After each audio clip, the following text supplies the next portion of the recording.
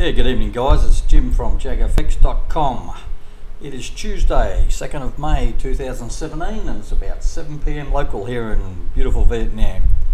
This is actually the second time I've done this video. I did it last night and it didn't upload properly, so I've got to do it all again, which I believe, anyway, that's life. So, um, first up, I just remind everyone that I'm back on the daily charts only, so I'm only trading daily charts. I'm giving the 4 hours, eight hour, 12 hours, whatever they were, a miss for now.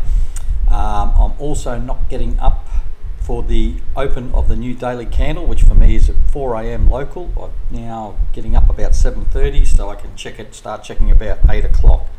This way I can place either, um, if the signal's still fairly close to where, uh, well, where, if price is still fairly close to where the signal was, then I'll just take the signal as is. Uh, if it's gone in my favour, I'll definitely take it. If it's still a, um, a valid signal, and if it's gone against me, uh, depending on how far it's gone, I will either place a buy or sell limit order, hopefully where price comes back to the original entry point. Um, or if it's just moved a few pips, like tw within 20 pips or so, then I'll just take it and just wear the 20 pips. But if it's moved 100, I certainly won't just take it. I'll reassess.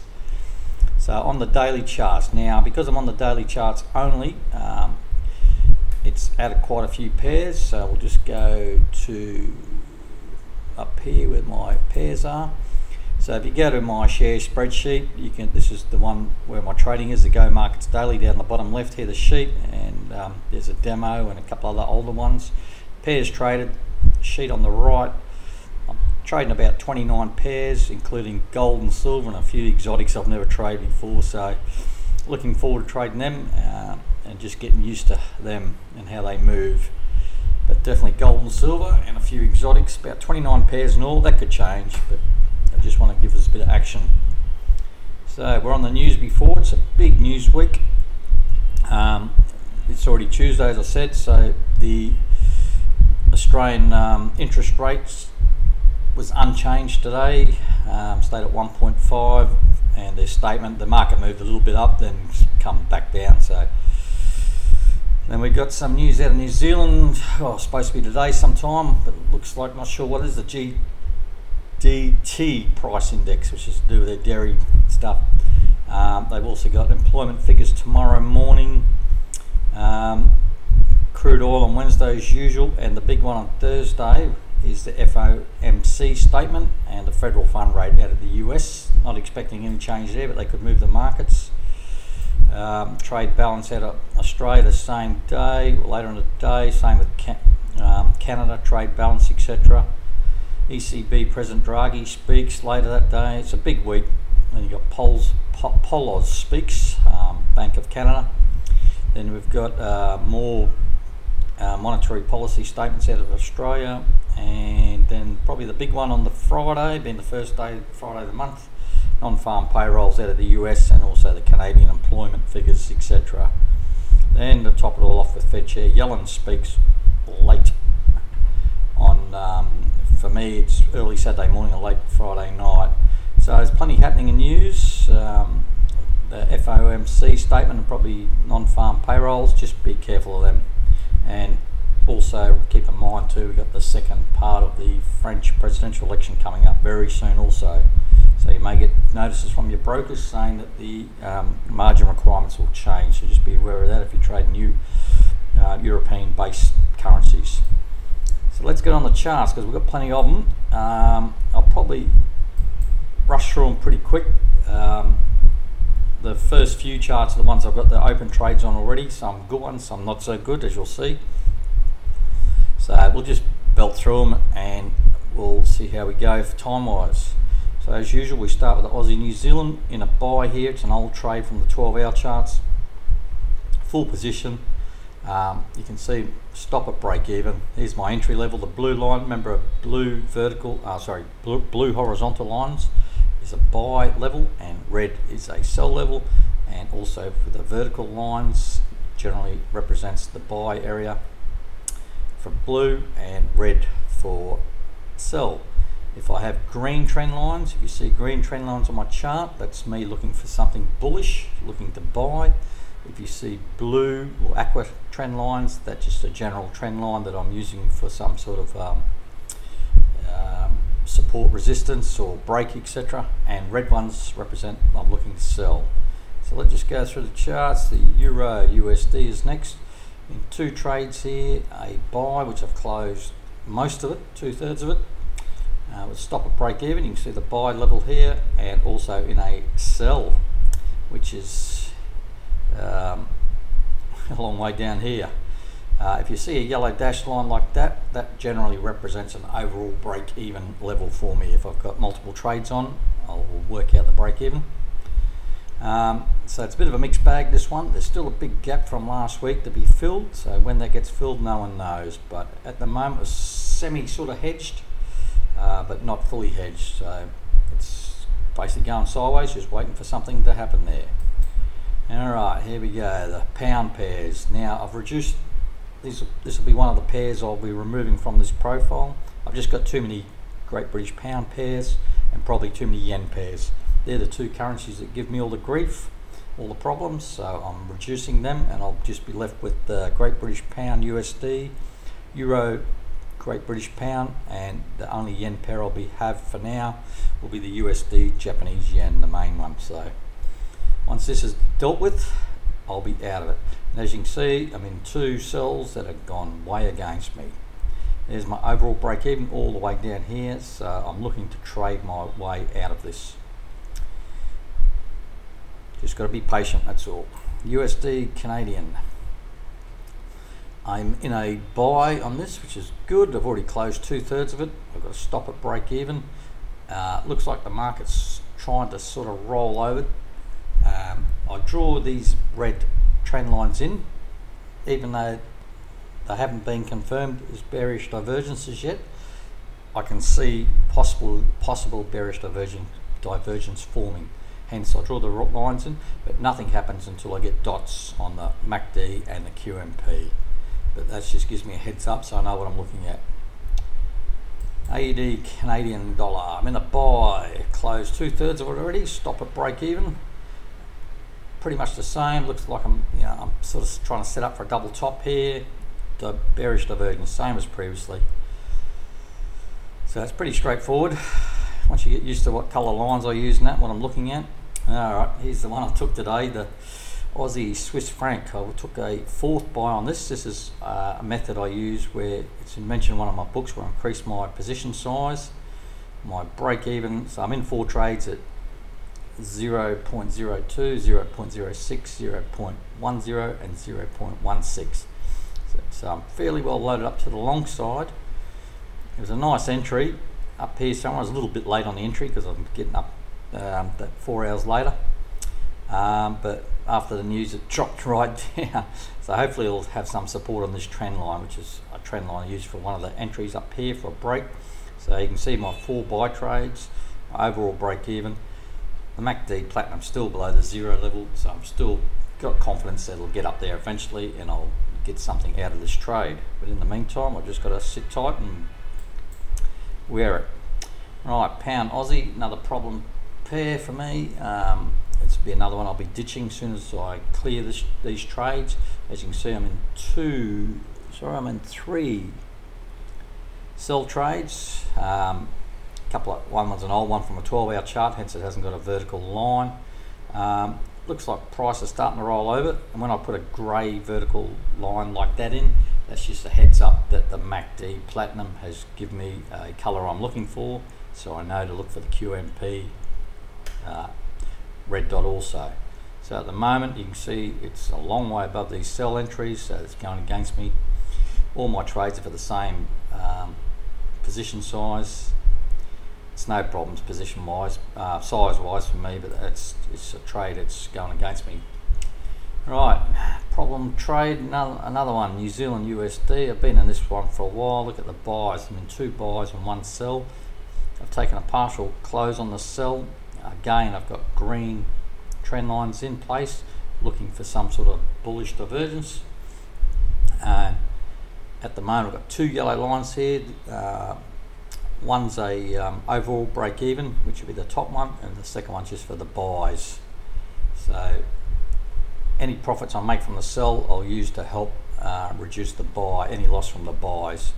But it's a New Zealand USD, and I'm fairly confident I'll get out of this at least break even with all trades. It's a bit of, a bit of a slow moving pair, so we'll just got to be patient again. Euro Canadian, nothing doing here. Um, looks like the gap was filled pretty close to it. It's heading up at the moment, and it, looking at the MACD, it looks like it's just about to try and start roll over, but there's nothing to say anything's happening at the moment, so I just got to sit tight and watch it. Uh, pound, Swiss franc, another problem child of mine in four sell trades. Yeah, here's my overall break even all the way down here. So this is, this is another one I'll be ditching as soon as I um, get an opportunity to clear some of these trades. As you can see, I've got a red dot on the MACD. It's still way above the zero level. I'm looking for a sell somewhere through here. Hopefully break that trend line, come down, and I'll add more sell trades, and hopefully it'll bring my overall break even up, and I'll be able to get out somewhere. And Euro Pound, another problem child. Um, this will be one I'll be keeping though. Um, in buys here, four buys. Um, these are all from old, the smaller time frame trades, uh, nothing on the daily. Uh, there's my overall break even, it's not that far away. So I'll just try and work my way up to there somehow. Um, now what's that indicator? No, Knoxville divergence. just ignore these um, indicators on this chart. This is a, just uh, something I'm trialing at the moment, and I've got it looks like I've left it on a few charts. It's just a divergence indicator. It's very aggressive. So yeah, euro pound. We're just trying to work our way up to that yellow line. Hopefully, uh, could take some doing. A look at the New Zealand Canada. I'm in a sell here, which is the wrong way as usual. Um, still got good bearish divergence here. We're still above the, the MACD, above the zero level.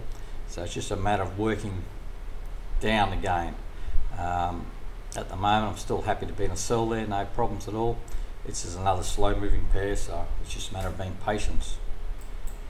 Canadian, Swiss franc, uh, in nothing at the moment. I've got a blue dot in the MACD Platinum, hence the, um, the dotted line.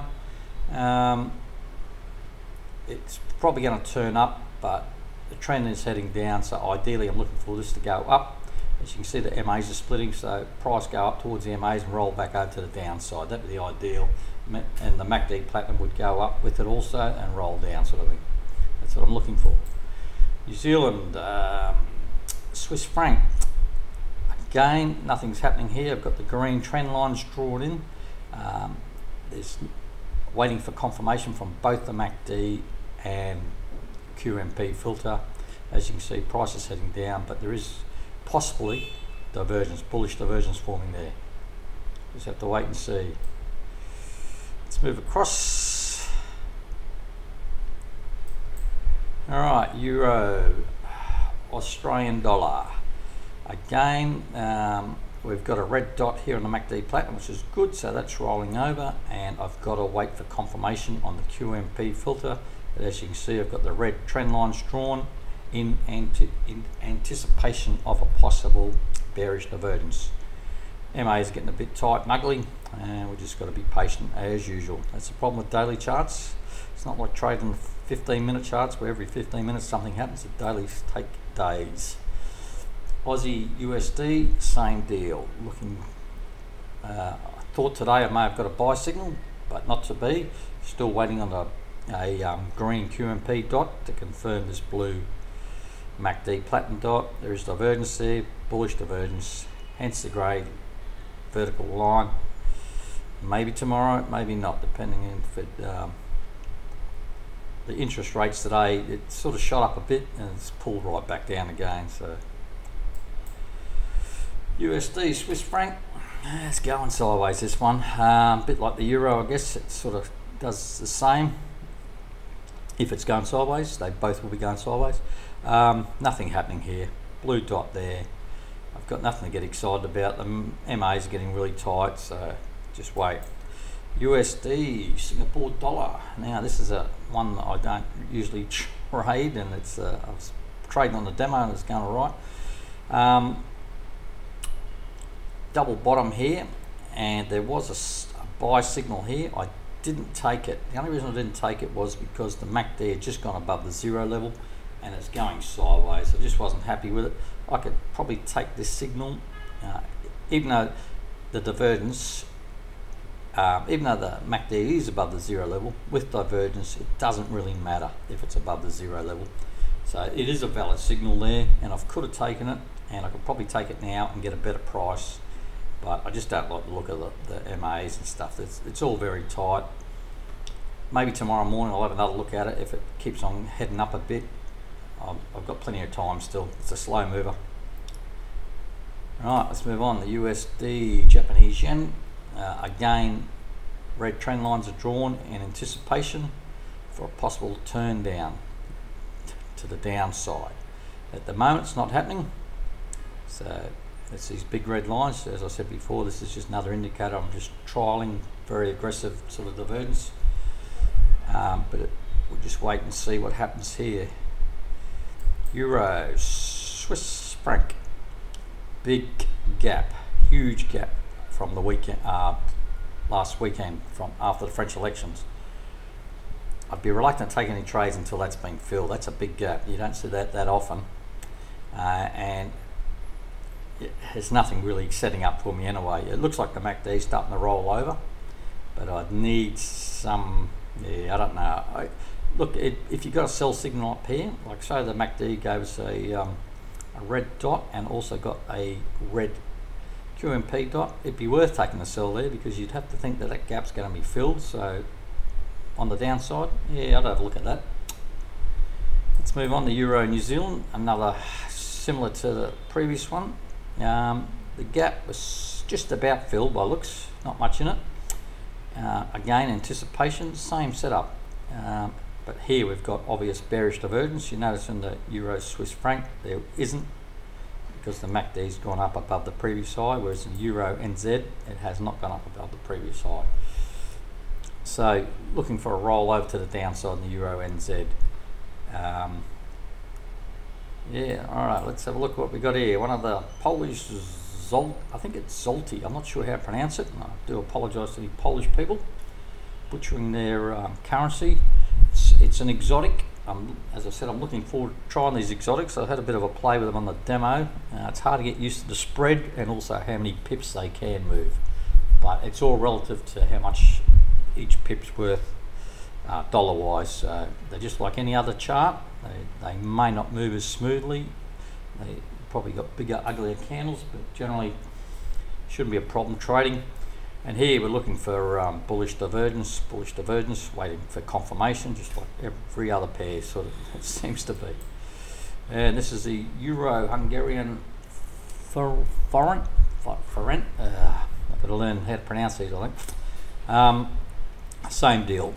This did give me um, bearish divergence, and because it, and I could probably I was thinking about this yesterday, but the only reason I didn't take it is because the MACD, even though the signal was in here, and it was after the, the, the French uh, part one of the elections last week, price had gone down close to the, um, is now very close to the MACD um, zero levels. Uh, not, the MACD is very close to the zero levels, so I'm reluctant to take it, so I'm just going to wait and see what happens on this. Now, the USD Mexican peso.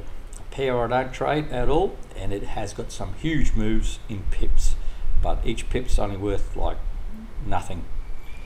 So don't be surprised to see something like 4,000 pip move or something like that but don't get excited by the pips. But just be aware uh, I did find out on my um, demo account I was long on this and the swap the interest rate was huge so I'm not sure what it is to the short side but to the long side I was paying a small fortune and it was um, it's, it's something you'd have to be aware of. But in the moment I'm in a sell as you can see and it's not really doing much but the MACD is above the zero level there's that big move down um, and that big move down looks huge, but when you go out in the chart, I think this is the pair. Look at this big move up from the left, even though it's had some pullbacks, etc. It's still a big move up. So this move down is not that big when you look at the whole, the big picture, I guess. So we've got that divergence, probably a, close to a double top across the MACD, definitely a big down move there. I'd like to see it go down a bit further and rack up some of these huge thousands of pips. Euro, I think that's uh, Norwegian krone, and again we've got the same deal. It's um, like a lot of the euro pairs, prices shot up really high, whereas the MACD Platinum has not, which has given it possible setup of bearish divergence, as you can see on just a matter of waiting.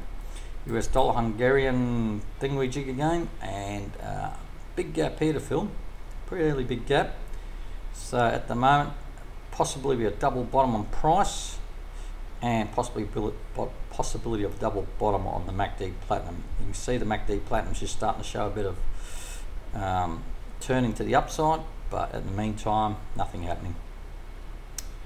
US dollar, Turkish lira, again, um, looking for bullish divergence here. MACD starting to show some sort of signs of heading up. Price is not though.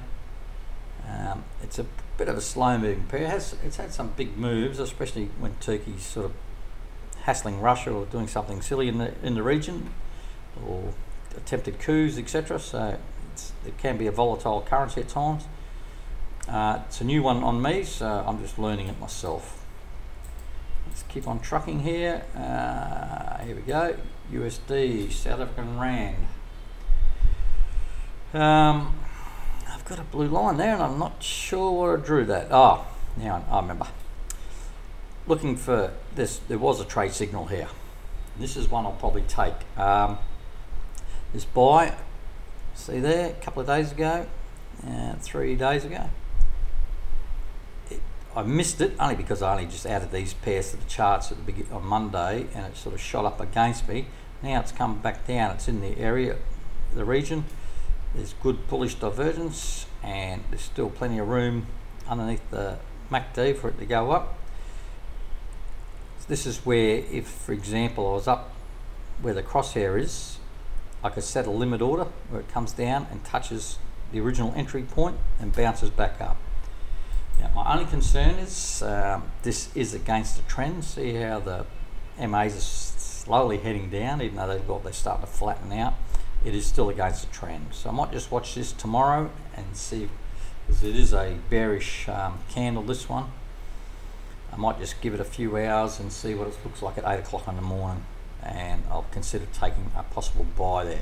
That's the reason I drew the blue dotted line there, just to give me an idea where entry price would be. Ah, USD gold, or just gold as I like to say. Um, yeah, not much happening here. I've been following gold for a few months now, not so much live trading, but certainly having the charts open and just watching it. Some nice moves, and I've been sort of demoing it in the background. And it's not too hard to pick up the moves when they start. So I'm looking forward to actually trading gold and silver which would be the next one. But at the moment I'm just drawing a couple of trend lines there. Don't look like much is happening. And uh, hopefully look at the MAs MAs are getting really tight in here. Hopefully it'll just bounce off here somewhere and bounce up and we'll take the buy and here's its little brother silver.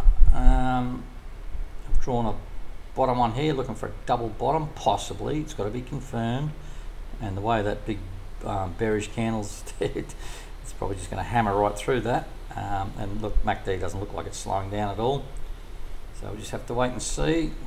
See there was a nice double top sort of up here yeah looking forward looking forward to it. Keep on saying that but I'm just getting excited. I just need some trades to happen.